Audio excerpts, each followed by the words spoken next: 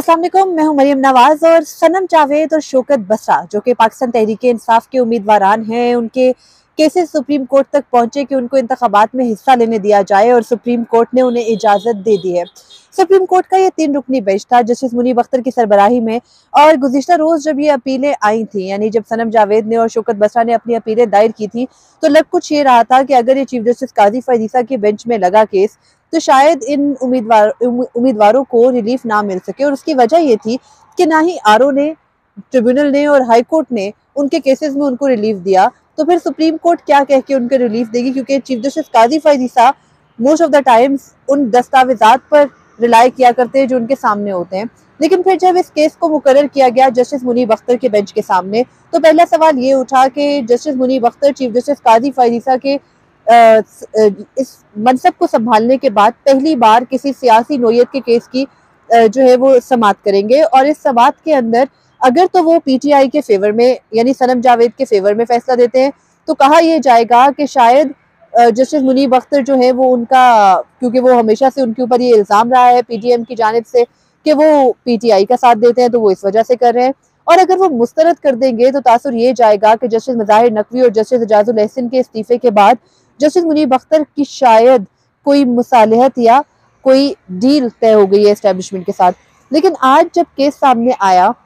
तो क्योंकि सुबह से ही बहुत से इलेक्शन मैटर्स थे, justice Mansoor Ali Shah, justice Athar Minallah justice Jamal Khan Mandokhail के बेंच में भी थे। वहाँ से भी पीटीआई को तमाम केसेस में रिलीफ मिला और फिर जस्टिस मुनीब अख्तर के बेंच में ये दो लोगों के कागजात नामजदगी मुस्तरद होने के खिलाफ अपीलें थी और यहाँ से भी पीटीआई को रिलीफ मिला। लेकिन रिलीफ देते वक्त जजेस के जो जस्टिस थे या जजेस के जो सवाल थे उनका जवाब, उनके जवाब देने में इलेक्शन कमीशन कामयाब होता दिखाई नहीं दिया। अब सनम जावेद और शोकत बसरा के केस को ही ले लें कि उनके केस में जो बुनियाद बनाई गई है वो ये कि उनके ज्वाइंट अकाउंट्स हैं और पहले के अकाउंट्स हैं और उनके पहले के जो अकाउंट्स हैं उनकी मौजूदगी में कैसे इलेक्शन कमीशन जो है वो पुराने अकाउंट्स के ऊपर उनको बैंक अकाउंट्स की बेसिकली ये बात हो रही है कि बैंक अकाउंट्स के ऊपर उनके कागजात नामजदगी को एक्सेप्ट कर ले।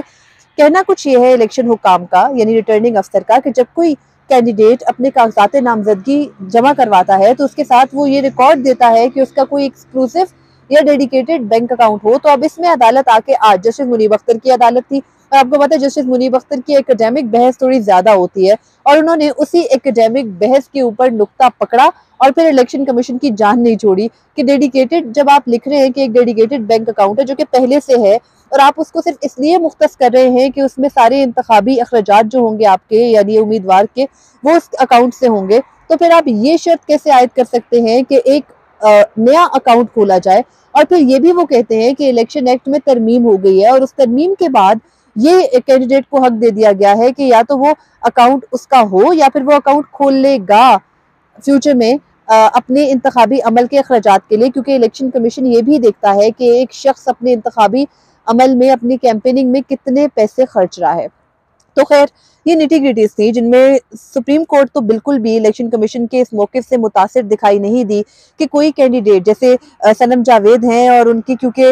वो जेल में हैं दस मई से आज तक। तो इतने माह से जो खातून जेल में है, उसका शोहर जेल में है तो वो कैसे अपना एक नया बैंक अकाउंट खुलवा सकती है? क्योंकि बैंक अकाउंट खुलवाने के लिए तो थम इम्प्रेशन चाहिए होता है, एक शख्स को बैंक खुद जाना होता है। तो उनके वकील जो थे शाहजेब रसूल, उन्होंने अदालत को यही बताया कि कैसे मुमकिन है कि सनम जावेद खुद अपने बैंक अकाउंट जो है वो नया खुलवाती और उसकी तस्दीक करवाती। तो ये उनका जो एग्जिस्टिंग अकाउंट था, जो कि उनके फादर के साथ, उनके वालिद के साथ उनका ज्वाइंट अकाउंट था, वो उसको इस्तेमाल करी थी। उन्होंने तमाम तर तफसीलात दी, लेकिन आर साहब ने ये कहकर कि 22 दिसंबर 2023 को सनम जावेद को जेल में कोई मिलने नहीं गया था तो इसलिए वो 22 दिसंबर को नॉमिनेशन कैसे जमा करा सकती हैं, उस तारीख के नॉमिनेशन नॉमिनेशन पेपर कैसे जमा करा सकती है, मुस्तरद कर दिए अब ये मुद्दा आज अदालत में जब वाइडली डिस्कस हुआ तो पहले जब बैंक अकाउंट वाला मामला था तो उस पर जस्टिस मुनीब अख्तर ने यह कहा कि इलेक्शन कमीशन का काम या रिटर्निंग अफसर का काम आसानी पैदा करना है, दुश्वारी पैदा करना नहीं है कि कोई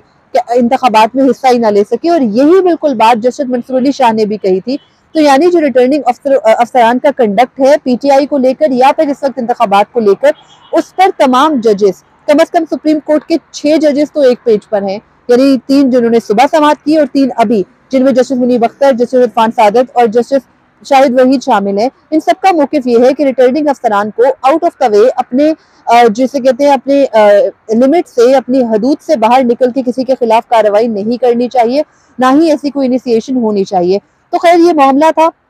इस पर अदालत कन्विंस नहीं हुई। फिर अगला मामला सनम जावेद के दस्तखत का था और उस पर आके रिटर्निंग अफसर के कंडक्ट पर सवाल हुए, जैसे शाहिद वहीद ने ये कहा कि जो इंतबी अमल जब शुरू हुआ तो इंतबी अमल के लिए नॉमिनेशन पेपर्स जमा कराने की आखिरी तारीख 20 दिसंबर 2023 और स्क्रूटनी के अमल को मुकम्मल करने के लिए रिटर्निंग अफसर के पास ठीक 10 दिन बाद 30 दिसंबर 2023 तक का वक्त था। तो रिटर्निंग अफसर ने 30 दिसंबर 2023 का दिन ही क्यों चुना? सनम जावेद के कागजात नामजदगी मुस्तरद करने के लिए जो बीच के 10 दिन थे। सनम जावेद 22 दिसंबर को कागजात नामजदगी जमा करा देती हैं। तो फिर आठ दिन के अंदर क्यों रिटर्निंग अफसर ने कागजात नामजदगी मुस्तरद नहीं किए? तो यहाँ पर सनम जावेद के वकील ने कहा कि खास केसेस को ना वो आखिर के लिए रखते हैं। लेकिन इसमें फिर ये भी सवाल उठा कि जो रिटर्निंग अफसर है, उसने कैसी इंक्वायरी कराई कि सनम जावेद के दस्तखत दुरुस्त नहीं है? तो सनम जावेद के वकील ने अदालत को बताया कि रिटर्निंग अफसर ने जेल हुक्काम को, यानी वो जो जेल, लाहौर में कोट लखपत जेल के हुकाम को लिखते हैं कि सनम जावेद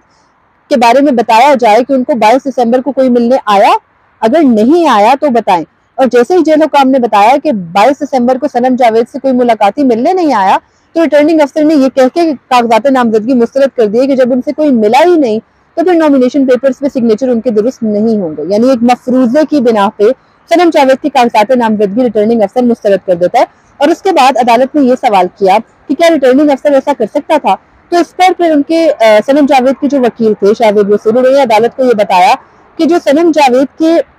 कागजात नामजदगी है, उसके लिए जो एफिडेविट होता है, वो एक कमिश्नर इक्कीस दिसंबर को अदालत में गया इक्कीस दिसंबर को जेल में उनसे मिलने गया। और वहाँ पर जो जेल में